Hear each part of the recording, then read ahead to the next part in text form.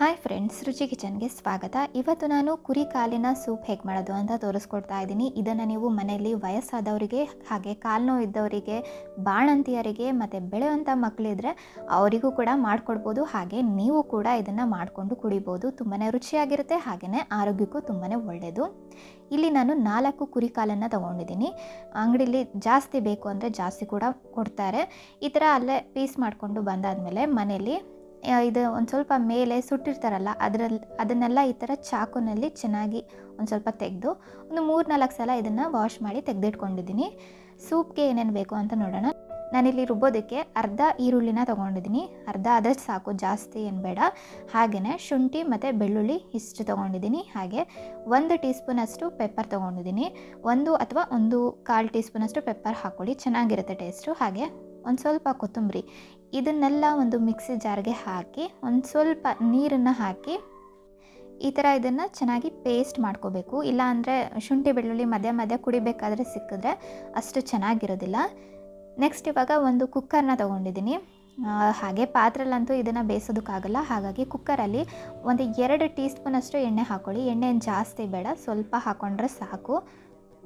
ಈಗ ಇಲ್ಲಿ ಎಣ್ಣೆ ಕಾದಿದೆ. ಒಂದು ಸ್ವಲ್ಪ, ಒಂದು ಮೀಡಿಯಂ ಫ್ಲೇಮಲ್ಲಿ ಇಟ್ಕೊಂಡು ನಾವು ತೊಗೊಂಡಿರೋ ಅಂಥ ಮಟನ್ ಕಾಲ್ ಪೀಸಸ್ನ ಹಾಕೊಳ್ತಾ ಇದ್ದೀನಿ. ಎಲ್ಲ ಮಟನ್ ಕಾಲ್ ಪೀಸಸ್ನ ಹಾಕೊಂಡಾದ್ಮೇಲೆ ಇದನ್ನು ಎಣ್ಣೆ ಜೊತೆ ಚೆನ್ನಾಗಿ ಫ್ರೈ ಮಾಡ್ಕೋಬೇಕು. ಒಂದು ಐದರಿಂದ ಹತ್ತು ಸೆಕೆಂಡ್ ಫ್ರೈ ಮಾಡ್ಕೊಂಡಾದ್ಮೇಲೆ ಇದಕ್ಕೆ ಉಪ್ಪನ್ನ ಹಾಕೊಳ್ತಾ ಇದ್ದೀನಿ.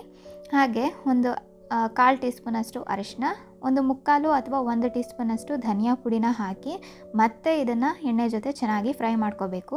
ನಾವು ಹಾಕಿರುವಂಥ ಸ್ಪೈಸಸ್ನ ಎಲ್ಲ ಚೆನ್ನಾಗಿ ಫ್ರೈ ಮಾಡ್ಕೋಬೇಕು. ಉಪ್ಪು ನೋಡಿಕೊಂಡು ಉಪ್ಪನ್ನ ಹಾಕ್ಕೊಳ್ಳಿ ಸೂಪಿಗೆ ಸ್ವಲ್ಪ ಜಾಸ್ತಿನೇ ಉಪ್ಪಾಗೋಗುತ್ತೆ.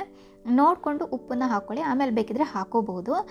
ಇವಾಗ ಇದನ್ನು ಅಷ್ಟೇ ಒಂದು ಸ್ವಲ್ಪ ಹೊತ್ತು ಫ್ರೈ ಮಾಡ್ಕೊಂಡಾದಮೇಲೆ, ನಾವು ಫಸ್ಟ್ ರುಬ್ಬಿಟ್ಕೊಂಡಿದ್ವಲ್ಲ ಅದನ್ನು ಹಾಕ್ಕೊಂಡು ಇದನ್ನು ಅಷ್ಟೇ ಚೆನ್ನಾಗಿ ಎಣ್ಣೆ ಜೊತೆ, ಈ ಹಾಗೆ ಈ ಪೀಸಸ್ನ ಜೊತೆ ಫ್ರೈ ಮಾಡ್ಕೋಬೇಕು.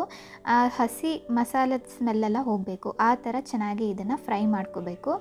ಇದನ್ನು ಚೆನ್ನಾಗಿ ಈ ಥರ ಮಿಕ್ಸ್ ಮಾಡ್ಕೊಂಡಾದಮೇಲೆ ಕುಕ್ಕರ್ ಲಿಡ್ನ ಹಾಗೆ ರಬ್ಬರ್ ಹಾಕ್ದೇ ಹಾಗೆ ಮುಚ್ಚಿ ಒಂದು ಎರಡು ಮೂರು ನಿಮಿಷನಾದರೂ ಇದನ್ನು ಫ್ರೈ ಆಗೋದಕ್ಕೆ ಬಿಡಬೇಕು. ಆಗ ಇದರಲ್ಲಿ ಇರುವಂಥ ಹಸಿ ಸ್ಮೆಲ್ಲೆಲ್ಲ ಹೋಗುತ್ತೆ.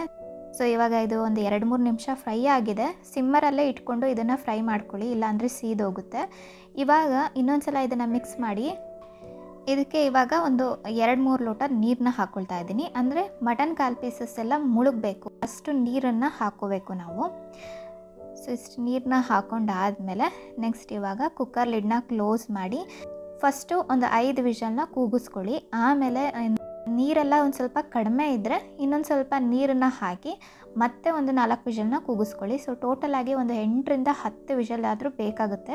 ಈ ಮಟನ್ ಕಾಲ್ ಪೀಸಸ್ಸಲ್ಲಿರೋ ಈ ರಸ ಎಲ್ಲ ಬಿಟ್ಕೋಬೇಕು ಸೂಪಲ್ಲಿ. ಆವಾಗಲೇ ಈ ಸೂಪಿಗೆ ಒಂದು ರುಚಿ ಬರೋದು. ಸೊ ಇವಾಗ ಲಿಡ್ನ ಕ್ಲೋಸ್ ಮಾಡಿ ಎಂಟು ವಿಷಲ್ನ ಕೂಗಿಸ್ಕೊಳ್ತೀನಿ ಈಗ ಇಲ್ಲಿ ವಿಷಲ್ ಆಗಿದೆ ಹಾಗೆಯೇ ಇದನ್ನು ತಣ್ಣಗಾಕೆ ಬಿಟ್ಟಿದ್ದೆ ಸೊ ನೋಡ್ಬೋದು, ಕುರಿ ಕಾಲು ಸೂಪು ರೆಡಿ ಆಗಿದೆ. ಇದನ್ನು ಇನ್ನೊಂದು ಸಲ ಈ ಥರ ಮಿಕ್ಸ್ ಮಾಡ್ಕೊಳ್ಳಿ. ಹಾಗೆಯೇ ಮಟನ್ ಪೀಸಸ್ಸು ಅಷ್ಟೇ ತುಂಬ ಸಾಫ್ಟಾಗಿ ಕುಕ್ ಆಗಬೇಕು. ಆಗ್ಲೇ ಈ ಸೂಪ್ ರುಚಿಯಾಗುತ್ತೆ. ಈ ಥರ ಎಲ್ಲ ಫ್ಯಾಟ್ ಬಿಟ್ಕೋಬೇಕು.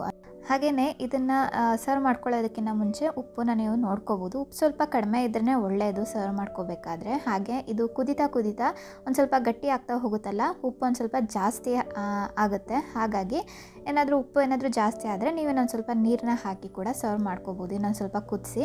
ಹಾಗೆ ಸರ್ವ್ ಮಾಡ್ಕೊಳ್ಳೋದಕ್ಕಿಂತ ಮುಂಚೆ ನೀವು ಬೇಕಂದರೆ ಒಂದೆರಡು ಮೂರು ಹನಿ ಲಿಂಬೆ ಹಣ್ಣಿನ ರಸನ ಕೂಡ ಹಾಕೋಬೋದು ಟೇಸ್ಟ್ ಚೆನ್ನಾಗಿರುತ್ತೆ. ಸೊ ನೋಡಿದ್ರಲ್ಲ ಈಸಿಯಾಗಿ ಮಟನ್ ಕಾಲು ಸೂಪ್ನ ಹೇಗೆ ಮಾಡೋದು ಅಂತ. ಕೆಲವೊಂದು ಕಡೆ ಕೆಲವು ಥರ ಮಾಡ್ತಾರೆ. ನಮ್ಮ ಮನೇಲಿ ಈ ಥರ ಮಟನ್ ಕಾಲು ಸೂಪ್ನ ಮಾಡ್ತಾರೆ. ನೀವು ಕೂಡ ನಿಮ್ಮ ಮನೇಲಿ ಈ ಮಟನ್ ಕಾಲು ಸೂಪ್ನ ಟ್ರೈ ಮಾಡಿ. ಇದನ್ನು ಏಜ್ ಆದವರು, ಬಾಣಂತಿಯರು ಹಾಗೆಯೇ ಬೆಳೆಯೋ ಮಕ್ಕಳು ಕೂಡ ಕುಡಿಬೋದು. ತುಂಬಾ ಒಳ್ಳೆಯದು ಹಾಗೆ ಈ ರೆಸಿಪಿ ಇಷ್ಟ ಆದರೆ ಲೈಕ್ ಮತ್ತು ಶೇರ್ ಮಾಡೋದನ್ನು ಮರಿಬೇಡಿ. ಹಾಗೆ ನನ್ನ ಚಾನಲ್ನ ಸಬ್ಸ್ಕ್ರೈಬ್ ಮಾಡ್ಕೊಳ್ಳಿ. Thank you